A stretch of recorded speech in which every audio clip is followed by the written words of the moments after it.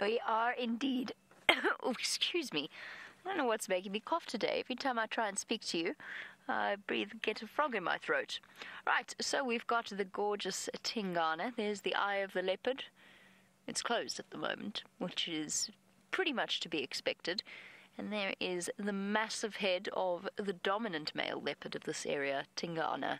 And he really is massive. He's absolutely huge. I've just been sitting here because I'm quite close to him at this point, and I'm just sitting here thinking, I wonder how much he actually does weigh. I'm keeping my voice down, not because it's going to bother him too much. He's not going to be afraid of it. But at the same time, I feel he looks so peaceful sleeping like that. I actually don't really want to disturb him.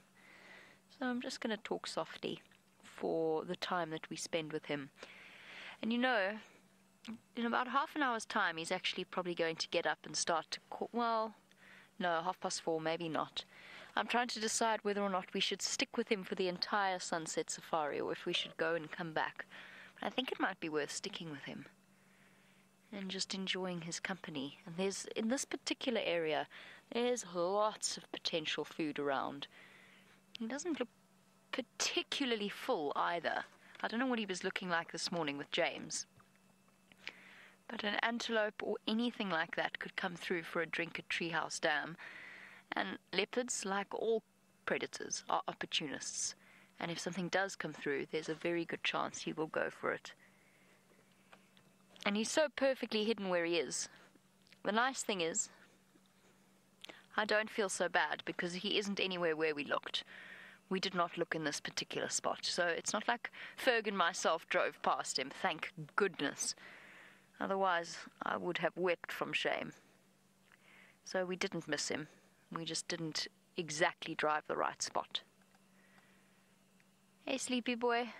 Are you happy there? So, for our new viewers, Tingana is probably the big male leopard that we see most often.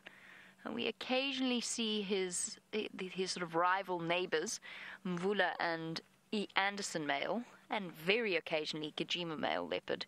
But Tingana's got a territory that stretches through Simbambili, down Arathusa, into Hoffman's, across Hoffman's into Little Gowrie, Vessels, Cheetah Plains, back up through Torchwood and across Djuma. And that is complete Greek to, well, not quite Greek, none of those names are actually Greek, but that's completely un, not in, unintelligible to our new viewers. But suffice to say, I mean, if I had to try and work that out, Djuma's 1,200 hectares. Arathusa is not quite as large. I would say he's got a territory of about 6,000, maybe even 8,000 hectares, which is quite extraordinary. It's an absolutely massive, massive territory. Oh, big yawn and a wake up. Now, I think we should send you back on through to the Mara because it sounds as though Brent has got some really amazing antelope to show you.